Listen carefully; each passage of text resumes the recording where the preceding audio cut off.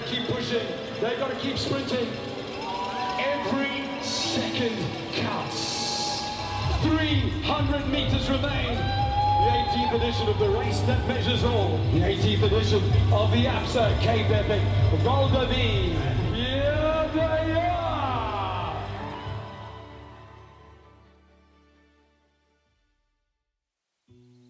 What would it be like to reach the top of the mountain bike marathon when almost anyone expects you can make it? What would it be like to make it with your best friend? You are about to meet two guys who did. Although hidden beneath the earth, roots serve as a reminder of the beginnings and they play an essential role in the journey towards greatness.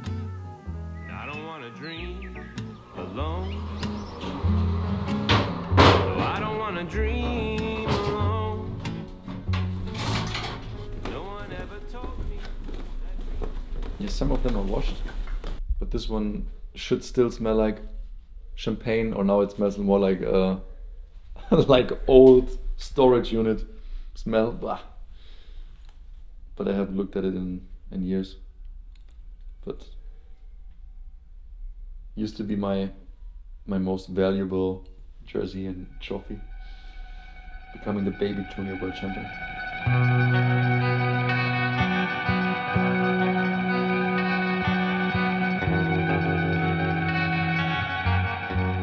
Wenn ich Lukas ähm, charakterisieren würde, möchte ich sagen, er ist ein sehr selbstbewusster, willensstarker, disziplinierter und erfolgsorientierter junger Mann.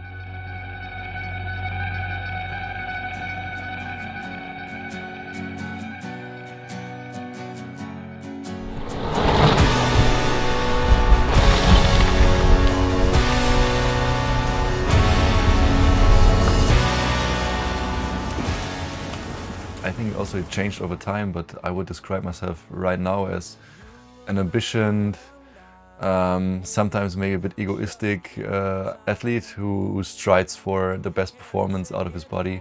Um, yeah, and someone who always wants to win, maybe.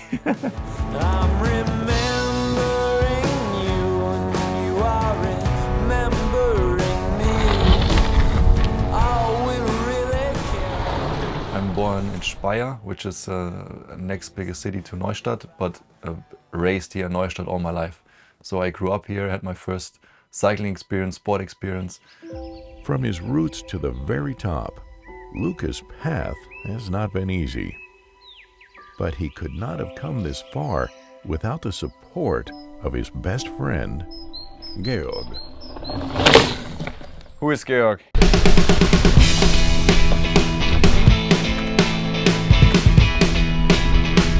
I would describe myself as a positive guy living in Germany, loves to ride bikes, having a little family at home and uh, yeah, just enjoys life and makes the best out of every day, yeah.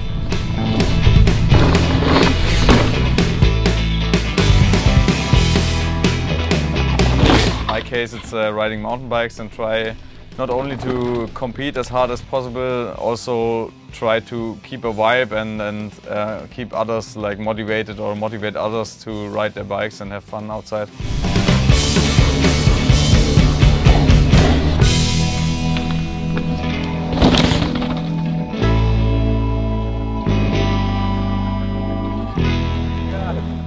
I was born in Obergessertshausen, which is a super small um, village close to Augsburg, yeah, region of Munich, somewhere in Bavaria.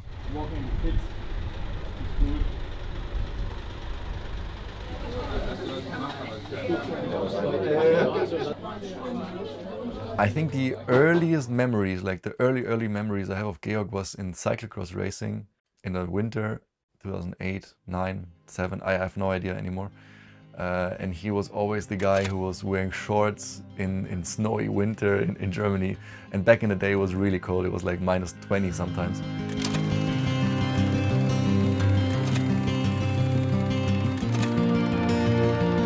So we just uh, visited each other at the racetracks and yeah, we were both on the podium and that's how we learned to know each other.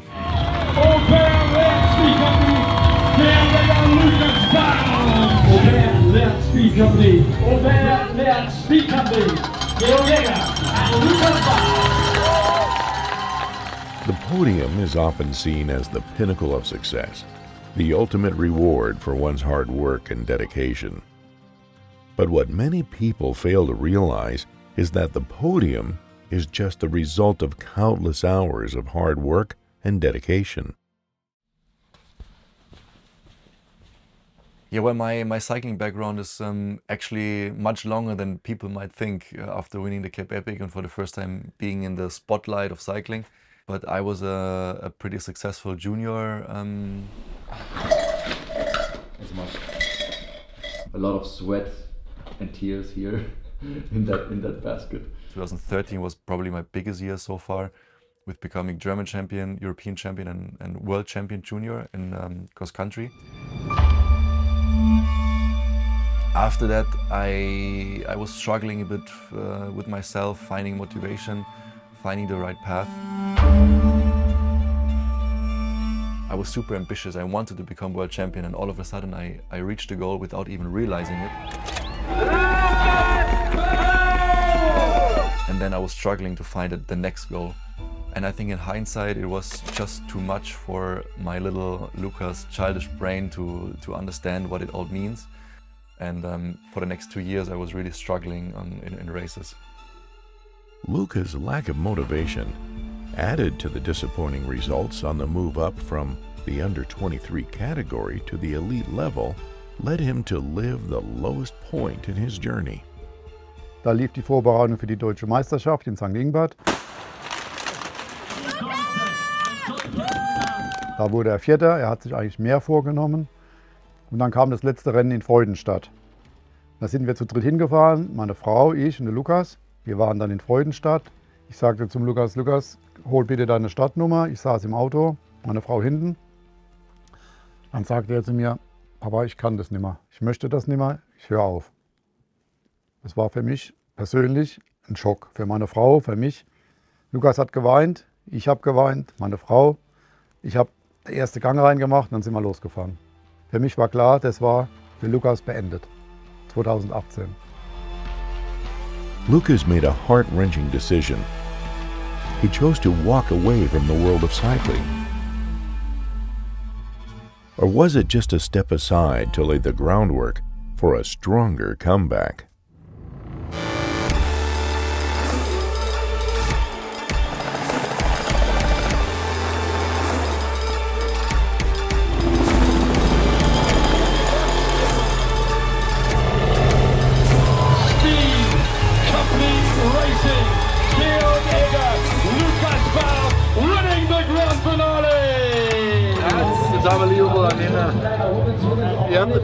Came here with my father and uh, we, we prepared the, the bikes on our own. We cooked for our own and we'll still be able to to beat the, the best guys here with a big budget and yeah, yeah. Actually, it was not planned to go to the Cape Epic in 2021. We had no money. We had no experience. We didn't know what we were doing there. And in the first moment when we, when we had been to the event, we were thinking, "What the fuck? I think we are completely wrong here because all the others had like a camper. Not only one camper, they had like camper, um, whatever valleys or stuff. Like only one team, and we had only that one camper."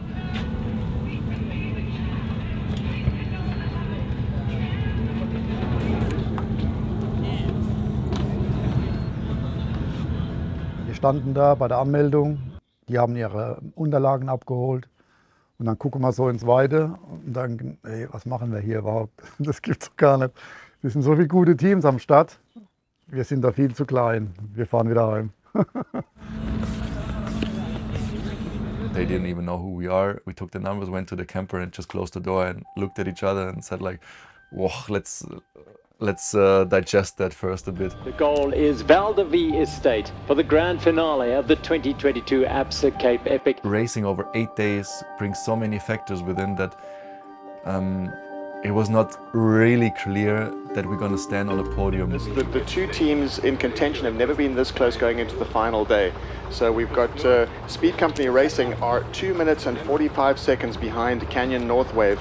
So yeah, it's only uh, 2 minutes 45 to the leaders. Uh, I think we have to go away early today. One last push. We got a chance to win. Uh, let's see.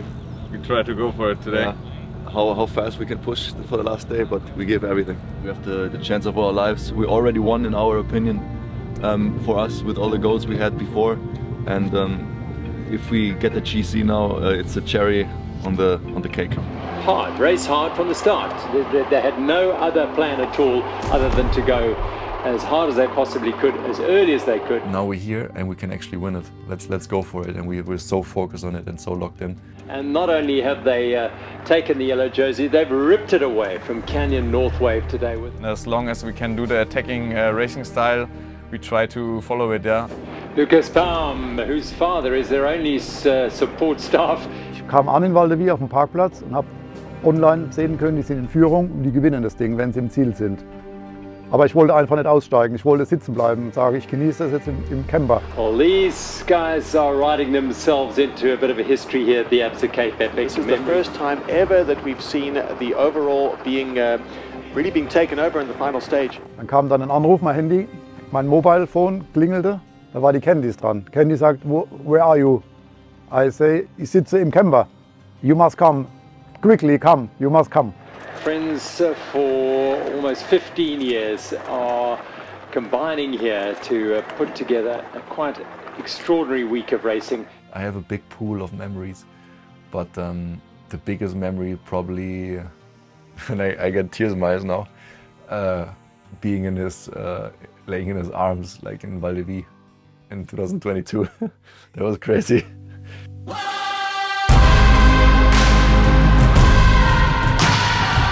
Also für mich war das persönlich ein unglaublicher Moment, die beiden zu sehen, dass die die Cap Epic gewonnen haben.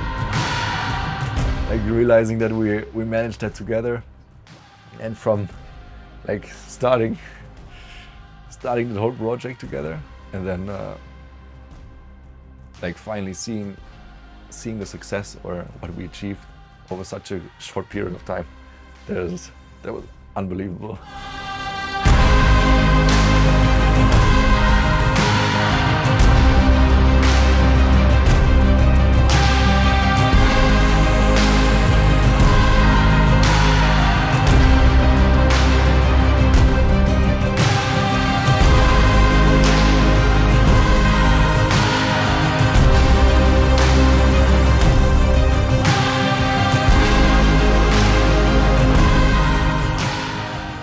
decision to ride on Orbea was, was a practical one.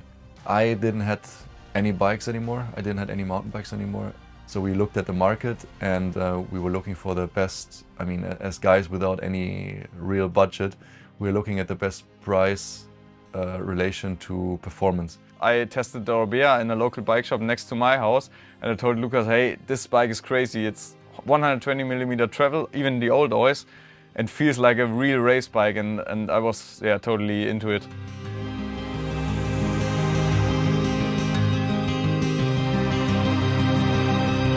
Fuck.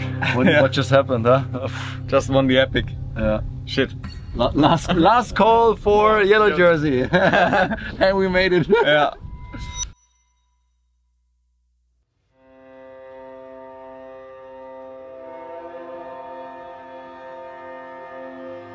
Combining the family with the cycling career is not always easy, but it gives you back a lot. Yeah? I mean, you met Nora, and it's so great to have a, a little me or a little a little daughter, um, and trying to to uh, show her the sweet uh, sweet life and everything, and how how life goes. It's, it gives you so much back, and um, for me, it's the perfect addition to to cycling. Yeah.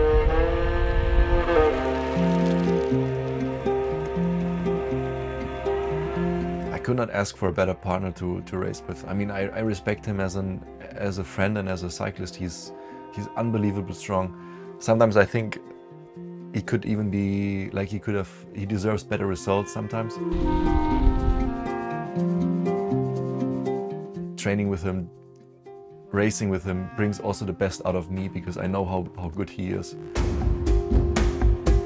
Georg is such a, a heart-warming person. He he he likes to to have a good relationship with everyone. He's like a harmony um, seeking person where, where I can also be angry with someone for, for a long time and, and he, he can't.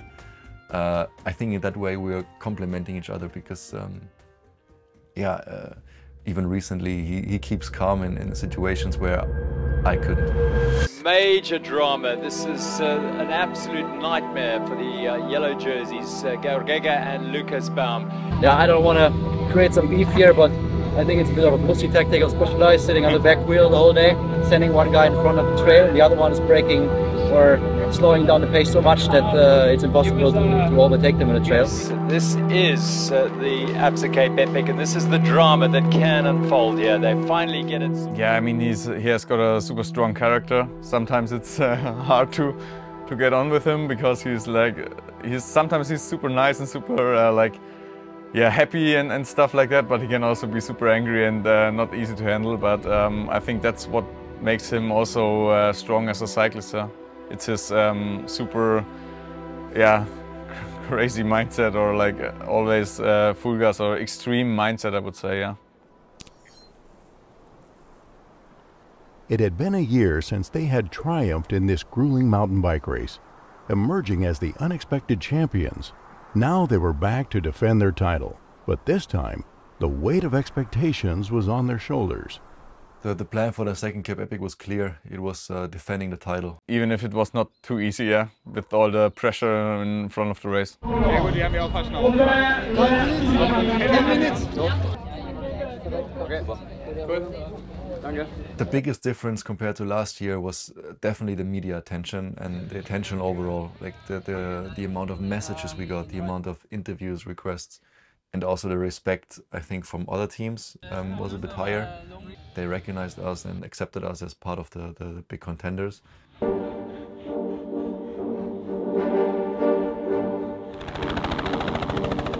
Not, not winning, considering a failure, depends on the, the way you ride. And here's a Christopher Blevins, Andri Frischknecht, Nino Schurter, here we go! Georg Egger, Lukas Baum of Speed Company!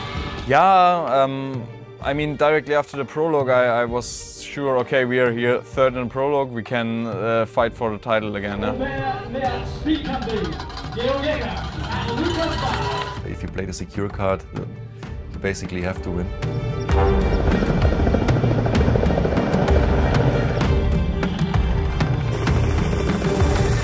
But um, we also had to fight adversary and we had to fight ups and downs. So things could well change today.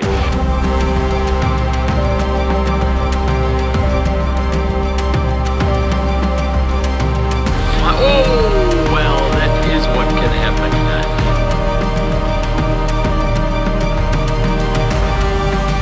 Your winners of the Queen stage.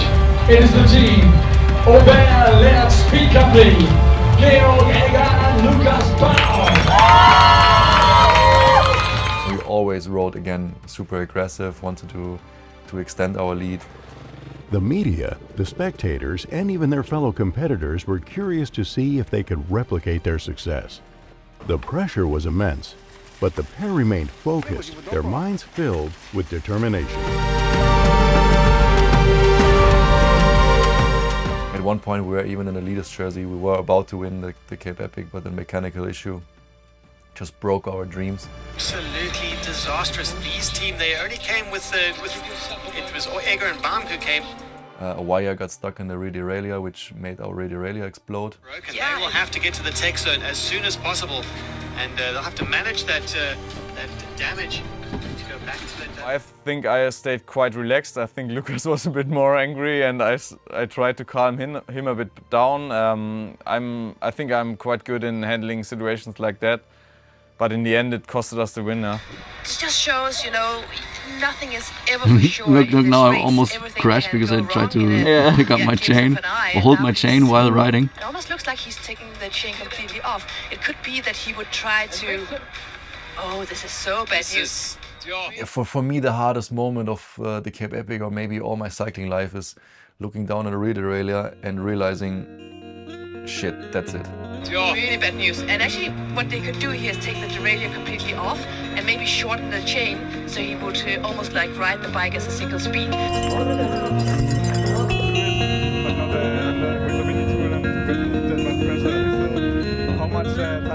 Nicht, wenn wir mit so einem Mechanical verlieren würden, wäre alles cool, aber wir haben einfach keinen Druck auf die Reife bekommen. Das war so bitter, wir waren ja schon zwei Minuten vor, vor Scott. Ja. Wir hätten ja wieder hätten die Führung ausgebaut, Ja. wären vielleicht mit zwei Minuten reingekommen. As the, maybe it's because of the defending champion, but also the circumstances that we were about to win it. We were so close. We were already wearing the, the leader's jersey with Speed Company Orbea Leatt. Winning the stage today, second overall, Orbea Leatt Speed Company. The two Germans, Georg Egger, Lukas Baum. Now we know everything. We know how to win a Cup Epic, we know how to lose a Cup Epic.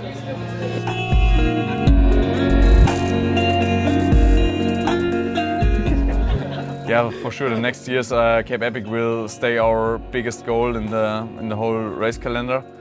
But I also try to compete uh, on the World Cup uh, cross country. Also try to get as good as possible there. Um, for me, it would be the nicest thing to race top 10 in the cross country World Cup and also win Cape Epic races. So then I'm, for me, it's uh, being like a complete mountain biker. Like, for example, maybe Nino, he can win Cape Epic or not now because we are here now. but um, he's like so good in um, cross country, and I want to get also like a complete guy which can race uh, marathon and cross country. The Cape Epic had been their proving ground, but they know that the world is filled with countless more trials to conquer, and they are ready to face them all. We are super fortunate with the support of our sponsors. Um, Orbea was uh, the relationship is, is crazy if you if you tell other people about it how how they came to us like we weren't asking for Orbea we chose Orbea as a customer uh, and then Orbea realized that we are customers and um, we we changed the relationship from a customer to a sponsored athlete relationship we're doing uh, cycling all our lives. They, they bring the passion in their products. So uh, the same way as we are racing, they are building bikes. So um, we're all about uh, the same goal in the end. Yeah, um, I hope that Lukas will stay my partner forever, but um, you never know uh, what happens. But um, if, it, if everything runs as it runs at the moment, uh, I think we stay partners and we stay also true and stay Speed Company Racing and, and keep our vision. Yeah. Our friendship is just like uh, something no other team, even if they have a big budget, can replicate. They can buy a good races together, but it doesn't mean that they can sleep in a, in a tiny, tiny caravan for eight days and, and get along. It's not just the taste of victory that fuels their determination. It is the knowledge that they share the passion for cycling together as friends who had supported each other through thick and thin.